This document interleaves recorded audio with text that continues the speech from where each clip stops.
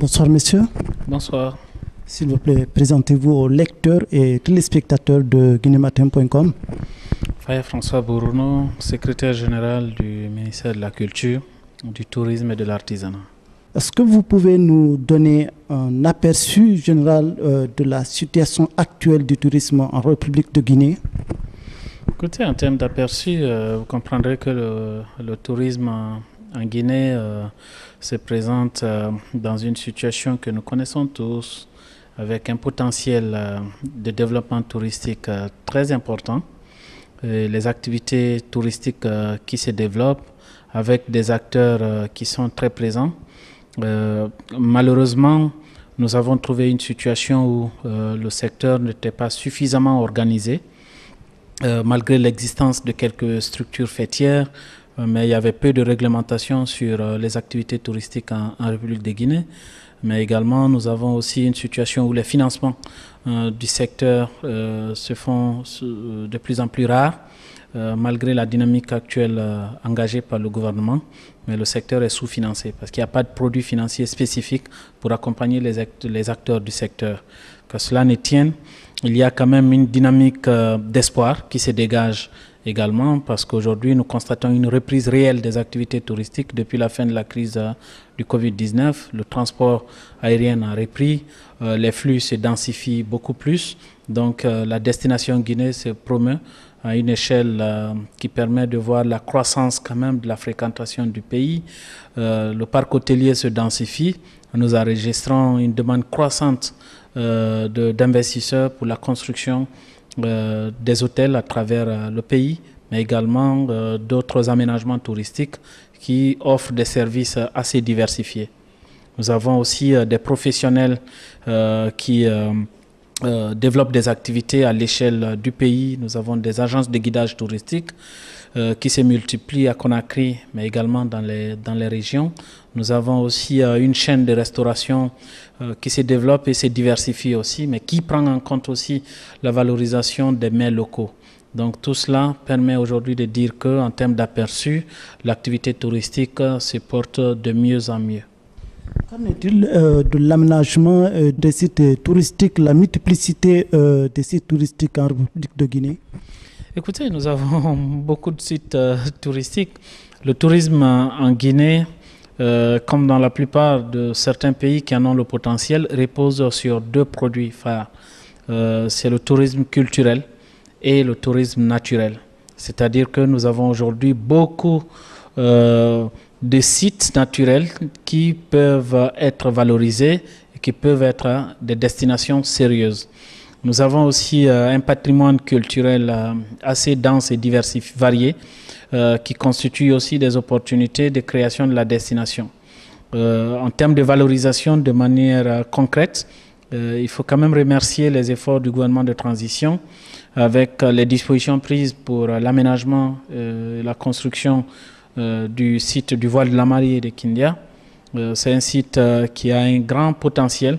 Le gouvernement a pris toutes les mesures pour faire de ce site un aménagement écotouristique à fort valeur ajoutée. Au moment où je vous parle, les travaux sont très avancés, mais nous ne voulons pas nous limiter là, parce qu'en plus du contenu que nous voulons donner à ce, à ce site, nous voulons développer des circuits autour de Kindia. C'est pour cela, effectivement, il y a une étude récente qui a été réalisé pour dégager tout le potentiel écotouristique autour de la région de Kindia. C'est pour cela que vous constaterez que nous sommes en train de prévoir le développement des activités autour du lac Samaya, mais également ces activités constituent une extension des activités que nous sommes en train aussi de développer autour du, du potentiel écotouristique du Mont Ganga.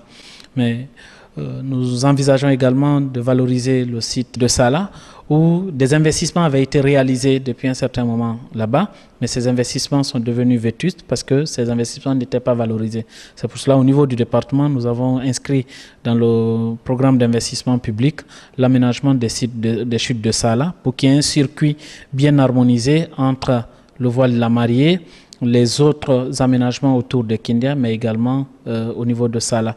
Nous travaillons également avec les partenaires de l'UNOPS pour la valorisation écotouristique du potentiel du Mont Nimba. Et actuellement, les études sont en cours et nous prévoyons de construire là-bas des, des écologes qui vont accueillir également des touristes qui viendront visiter ce potentiel. Nous sommes en discussion très avancée pour l'aménagement et l'extension du site également de, des sites négriers de Bofa, mais également des chutes aussi de, de, des sites de Benti, qui sont des éléments qui relèvent du patrimoine culturel guinéen. Donc voici un peu ce qu'on est en train de faire sans être euh, exhaustif, parce qu'il y a beaucoup, il y a les cinq plages de Conakry pour lesquelles les études sont complètement terminées. Donc nous voulons euh, offrir cet espace balnéaire au public guinéen, si tout va bien, d'ici euh, la fin de l'année prochaine. Qu'en est-il du parc national euh, Bafing Est-ce qu'on vous a saisi par rapport à ce, programme national? Toutes les aires protégées sont dans notre pipeline.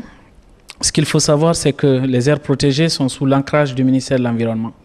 Ce que nous nous sommes dit, c'est que vu que nous devons profiter du potentiel naturel pour développer l'écotourisme en République de Guinée, nous avons entrepris la mise en place d'une synergie de travail avec le ministère de l'Environnement. Nous avons euh, un arrêté conjoint qui est pris par les deux ministres pour créer un comité que d'ailleurs je préside. Euh, ce comité euh, travaille actuellement sur une note d'orientation claire pour sortir une stratégie globale de valorisation écotouristique de toutes les aires protégées que nous avons à l'échelle du pays. Et par rapport à ça, il y a un travail qui est appuyé par la Banque mondiale pour redéfinir totalement la cartographie des aires protégées du pays. Et le parc du Moyen Baffing fait cette, euh, de, cette perspective. Et soyez sûrs que des actions concrètes seront prises pour la valorisation écotouristique du parc du Moyen Baffing. Quels sont les défis euh, auxquels le secteur du tourisme est actuellement confronté en Guinée et quelles sont les mesures euh, pour les surmonter? Écoutez, comme euh, récemment vous avez fait... Pour développer le tourisme, il faut des infrastructures. Hein. Tout ce qu'on est en train de dire, c'est que il faut oser parce que pour aussi développer le tourisme, il faut avoir de l'audace, il faut avoir de l'ambition. Parce que le tourisme, c'est deux choses. Vous avez le développement des produits, vous avez la promotion des produits. Donc nous, nous travaillons actuellement à développer certains produits, mais nous travaillons aussi à faire la promotion du potentiel existant, en plus de quelques produits existants. Parce qu'on peut vendre aujourd'hui la destination en tenant compte de toute la complexité, de tous les défis existants. Mais qu'à cela ne tienne, vous savez qu'on ne peut pas développer le tourisme sans les infrastructures routières. Nous avons aujourd'hui des sites, on parlait des aires protégées tout à l'heure, ce sont des réserves qui sont situés à des kilomètres de Conakry. Et nous savons tous l'enclavement lequel vit ces aires protégées. Donc il y a un problème de route, mais également la couverture en termes d'électricité. Nous avons la plupart de ces aires protégées qui ne sont pas couvertes par le réseau électrique. Donc le problème énergétique est un défi important auquel nous faisons aujourd'hui face. Vous allez faire venir des touristes étrangers, ils veulent loger dans des endroits où ils ont accès n'est-ce pas, à, l'électricité. Vous avez la couverture du réseau Internet, n'est-ce pas, qui est quand même, euh, qui connaît une certaine évolution, mais avec des limites. Vous partez, quelqu'un qui vient en vacances, il veut aller sur un site, euh, par exemple, prenons les chutes de Salah ou bien le Mont Nimba, il veut avoir quand même une connexion assez fiable. Donc vous avez cette couverture qui est limitée parce que le débit sur certains espaces, euh, il est très limité, il est faible. Donc tout cela constitue des obstacles face auxquels quelques touristes ne peuvent pas prendre la décision pour venir visiter et, faire des séjours touristiques dans notre pays. Mais qu'à cela ne tienne, nous avons fait beaucoup d'études qui nous ont permis de comprendre que ces défis peuvent être transformés en opportunités. Et ces opportunités sont des sources de création d'opportunités pour certains acteurs ça peut permettre donc de développer le, le transport. Vous partez aujourd'hui en Tanzanie ou bien même à Dubaï dont on parle. Nous savons tous, les, les sites parfois les plus visités sont des sites qui sont situés sur, euh, n'est-ce pas, des, espaces de sable qui ne sont pas, n'est-ce pas, viabilisés par euh, des bitumes. Et ils ont développé donc des réseaux de transport à travers le safari. Donc ça fait que effectivement quelques filières aussi peuvent être développées et peuvent être créatrices de revenus, mais également créatrices d'emplois. Ça ne veut pas dire que l'État ne mobilise pas de moyens pour viabiliser les sites touristiques euh, existants. Donc, je parlais des routes, je parlais d'électricité, je parlais de réseau Internet. Euh, c'est vrai qu'on parlerait de défis sécuritaires, Mais l'un des défis les plus importants, c'est aussi euh, la professionnalisation des acteurs. Vous avez peu de professionnels dans le secteur touristique en Guinée. Vous avez la chaîne de restauration qui se développe, mais la formation du personnel, des prestataires de services, constitue aujourd'hui un défi. Vous avez des grandes chaînes de restauration internationales qui ont du mal à s'installer en Guinée parce qu'ils voudraient avoir sur place un personnel local capable d'offrir des prestations de haut standing. Vous avez des agences de voyage touristique aujourd'hui qui offrent des services très limités. Normalement, des agences de voyage doivent avoir des services au-delà de la simple billetterie, mais des, offres de services touristiques hein, permettant de vendre des destinations, de proposer des circuits touristiques aux touristes qui arrivent ou aux voyageurs qui viennent en Guinée. Malheureusement, nous avons la plupart des agences qui n'évoluent que sur la billetterie. Ils ne font pas d'offres de produits euh, touristiques. Donc, vous avez autant de défis. Donc, l'organisation de l'écosystème, la professionnalisation des acteurs, le financement du, du secteur, la synergie entre les acteurs qui n'existe pas aujourd'hui. Normalement, pour développer le tourisme, il faut une véritable synergie entre les acteurs le ministère du Tourisme, le ministère de la Sécurité, le ministère des Transports et d'autres départements sectoriels, le ministère de l'Administration du Territoire, les espaces dont nous parlons sont des espaces qui sont situés dans les localités euh, très reculées, donc relevant des communes urbaines et rurales. Il faut que les acteurs communautaires soient aussi sensibilisés sur le fait touristique. Donc l'éducation touristique aussi est, très faible. C'est pour cela que nous avons inscrit dans notre plan d'action euh, actuel la sensibilisation des communautés sur les faits touristiques. C'est pour cela que vous avez remarqué que euh, depuis l'année dernière, nous travaillons sur des approches de test des produits existants. Euh, nous avons organisé des éductours pour permettre de tester les produits et les circuits existants. Nous allons continuer donc à multiplier des tests pour voir dans quelle mesure nos produits sont vendables, mais également sur la base du niveau n'est-ce pas, de capacité de commercialisation de ces produits. Nous allons euh, proposer des approches de solutions pour améliorer, n'est-ce pas, la capacité de vendre ces produits. Mais au-delà de tout, c'est aussi l'image du pays. Quand vous partez aujourd'hui sur l'Internet, vous tapez la Guinée, les images que vous voyez, c'est des images des manifestations, n'est-ce pas? Vous-même, les médias, quel travail vous faites pour faire en sorte que vous affichiez des images beaucoup plus vendeurs de l'image de notre pays Le bon côté. Voilà, exactement le bon côté. Donc, il y a ce travail de branding pays. Hein, aujourd'hui, nous lançons le programme du, branding Guinée Hein, c'est un programme qui va contribuer à travailler donc sur le narratif, à travailler sur l'image pays pour que la stratégie marketing, sur laquelle d'ailleurs on est en train de travailler avec l'ONT, puisse être une stratégie gagnante. En ce moment donc, nous travaillons sur euh, euh, la création d'une synergie. Il y a un compte satellite pour lequel le projet de décret est soumis, qui va être créé pour faciliter la synergie, produire des informations euh, fiables afin d'améliorer les décisions de politique publique qui doivent être prises pour améliorer la fourniture des services qui vont répondre aux besoins que je citais tout à l'heure. Il y a effectivement un cadre de concertation intersectoriel qui va être créé. Il y a la restructuration également des organes fêtiers du secteur. tout cela va contribuer à développer l'écosystème. Nous travaillons en ce moment sur une étude qui va permettre euh, de définir les paramètres de faisabilité pour la création d'un fonds d'investissement touristique. Travaillons actuellement sur l'élaboration d'une stratégie de marketing euh, de la destination Guinée euh, avec un appui que nous avons de la part d'un partenaire qui s'appelle Enabel, qui a recruté des consultants, notamment une consultante sud-africaine qui appuie l'ONT à élaborer cette stratégie. Donc il y a autant d'actions que nous sommes en train de mener pour aider à améliorer effectivement les défis existants parlant du, rang ou bien euh, la productivité du tourisme en Guinée, aujourd'hui, est-ce que euh, les moyens qui sont mis, euh, le pourcentage du budget qu'on vous a accordé, est-ce que vous pensez que cela peut aider un tout petit peu à ce que le secteur du tourisme puisse être un tout petit peu relevé? Écoutez, l'État fait ce qu'il peut.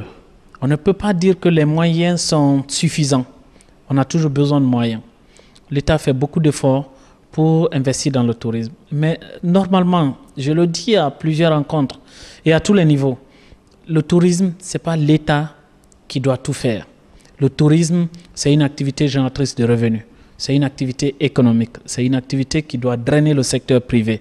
Les sites dont je suis en train de vous parler, il ne revient pas à l'État d'investir. Même ce qu'on est en train de faire au, au niveau du voie de la mariée, c'est juste un investissement catalytique pour attirer les investisseurs et leur montrer que effectivement ces aires protégées, ces espaces, ces chutes que nous avons sont des produits économiques. Donc ils peuvent être valorisés et générer du profit créer des entreprises autour, créer des opportunités euh, qui vont générer de l'emploi, mais également créer des revenus pour des acteurs qui interviennent là-dedans. Donc c'est pour vous dire que euh, l'État apporte déjà beaucoup de contributions. C'est en dessous de ce que nous souhaitons. Donc il faut beaucoup de moyens, mais ces moyens, nous voulons beaucoup plus les puiser au niveau du secteur privé. C'est pour cela que nous envisageons d'organiser un grand forum l'année prochaine pour euh, discuter des investissements dans le secteur touristique. Et si tout va bien, euh, à l'orée de ce forum, nous aimerions que euh, des perspectives claires soient dégagées pour la création d'un fonds d'investissement touristique en République de Guinée. En, termes de PIB, euh, produit intérieur brut, brut on, on parle de 0,007, je crois, ou 1% euh, du, du, du, produit intérieur brut euh, tiré de, de, de, recettes du tourisme en Guinée. Est-ce que vous, euh, vous avez quelque chose aussi à dire par rapport à ça?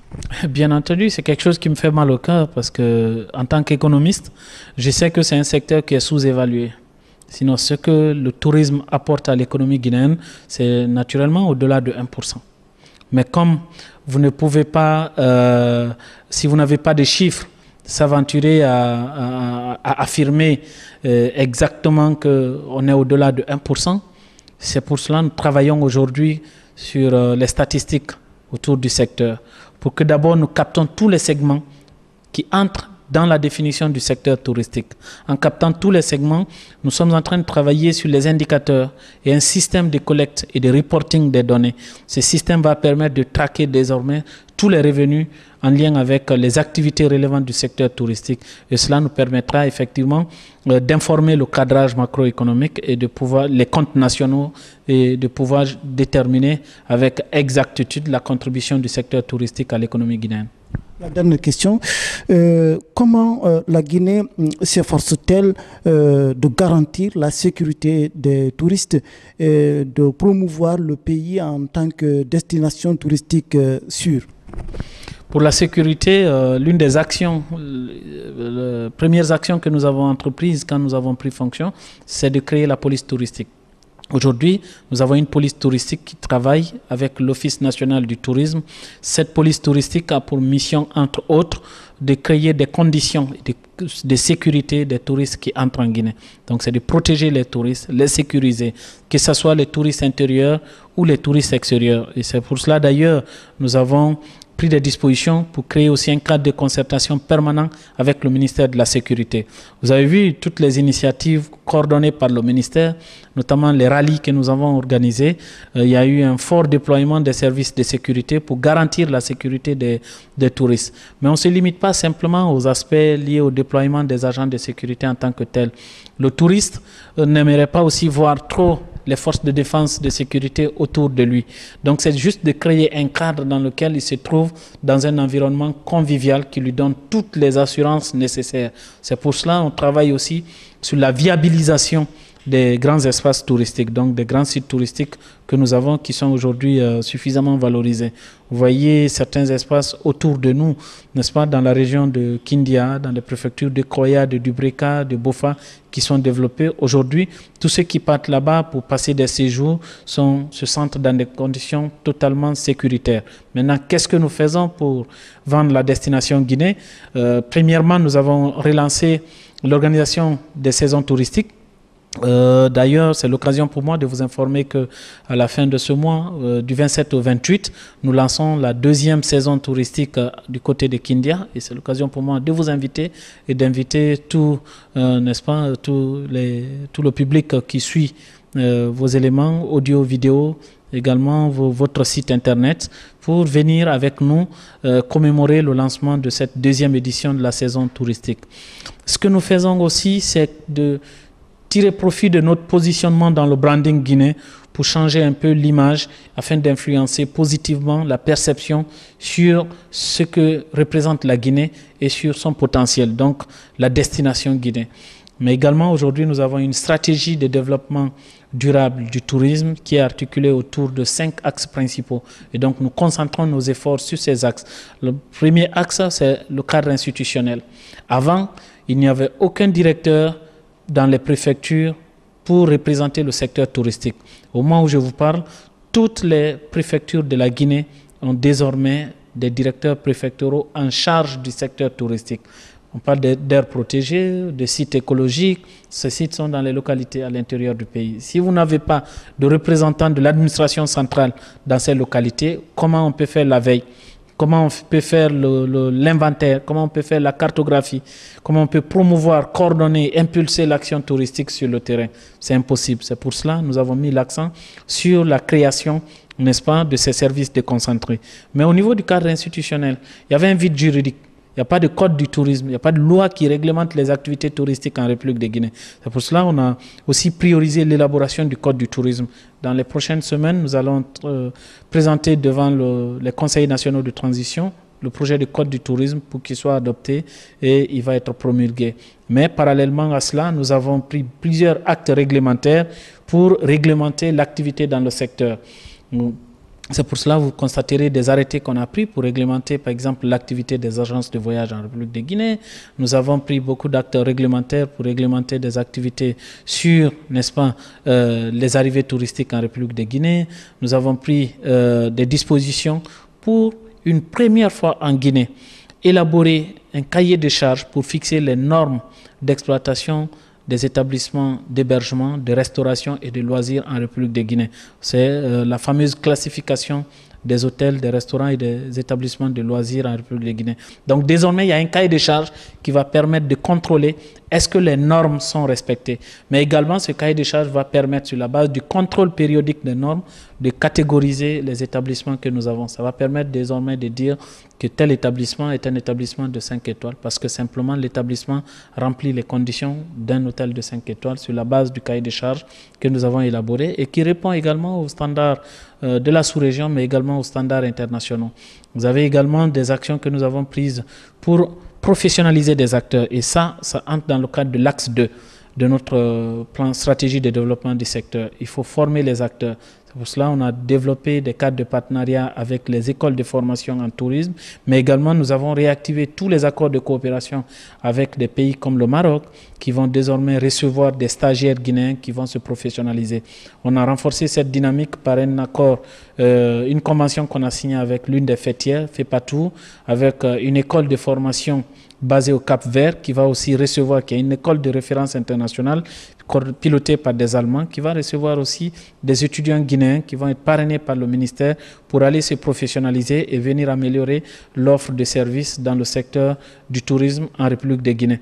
Euh, on ne se limite pas là, nous avons entrepris des actions avec le ministère de l'enseignement technique pour opérationnaliser l'école que les Marocains nous ont offert au niveau de, de Nongo, qui est une école qui va permettre vraiment de former des professionnels dans le domaine de la restauration, mais également dans le domaine de, l'hôtellerie. Il y a d'autres programmes de formation. En interne, au niveau du ministère, nous avons renforcé un programme de formation qui accueille des étudiants stagiaires que nous formons sur des filières de la, euh, restauration.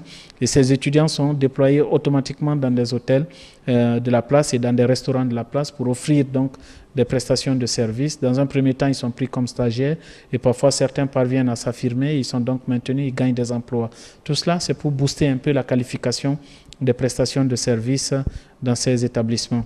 Et le troisième axe, c'est l'investissement dans le secteur. Et tout ce que je venais de vous dire entre dans ce cadre. Le cinquième axe porte sur la promotion de la destination. Là, c'est tout ce que l'Office national est en train de faire. Avant, on avait un Office national du tourisme qui euh, était presque un organisme mourant, sans fonds. Les fonds qui étaient là étaient détournés par, n'est-ce pas, les différentes équipes qui se sont succédées à la tête de, ce, de, ce, de cet établissement. Aujourd'hui, nous, nous avons mis des moyens. Nous avons fait de l'Office une société anonyme avec un capital de 40 milliards de francs guinéens qui est complètement libéré. Nous travaillons actuellement avec des investisseurs internationaux pour ouvrir le capital et faire en sorte que des investissements privés puissent entrer dans le capital de l'ONT, ce qui va lui donner plus de capacités, n'est-ce pas, à investir sur des stratégies, des outils de communication. Nous, avons, euh, nous sommes très avancés dans une discussion avec euh, euh, la télévision CNN pour travailler, pour faire la promotion de la destination Guinée. Et euh, dans la même perspective, euh, des discussions sont ouvertes avec d'autres médias internationaux pour effectivement avoir des paquets de services de promotion de la destination Guinée. Et d'autres actions de promotion également sont envisagées. Comme je vous parlais, nous densifions maintenant l'organisation des éductours, n'est-ce pas, pour tester euh, nos produits. Euh, nous rationalisons maintenant notre participation à des salons. Tous les salons auxquels nous participions et pour lesquels on avait peu de retombées en termes de destination touristique, nous sommes en train de renoncer à notre participation. Pour... même, vous, vous dénonciez le fait que la Guinée ne participait pas euh, à une des rencontres internationales ça, ce n'est pas un salon, ça, c'est juste euh, un cadre de concertation qui existe au niveau de l'Organisation mondiale du tourisme. Vous savez, le système des Nations unies a mis en place des mécanismes pour renforcer la coordination des actions de développement dans chaque secteur. effectivement, au niveau de l'OMT, il y a l'Assemblée générale qui doit avoir lieu d'ailleurs la semaine prochaine, laquelle nous ne participerons pas. Mais je parle des salons qui sont, n'est-ce pas, des rencontres, n'est-ce pas, des professionnels pour vendre les produits, pour vendre les destinations. C'est cette rationalisation qu'on est en train de faire. maintenant, nous sommes en train carrément de changer d'approche pour que nous entrons dans une logique où, à chaque rencontre que nous organisons ou à laquelle nous participons, qu'on puisse avoir un retour sur investissement en termes d'accueil de touristes de façon effective. Et à ce niveau, nous travaillons aujourd'hui pour développer des accords de partenariat avec des agences, euh, des tours opérateurs.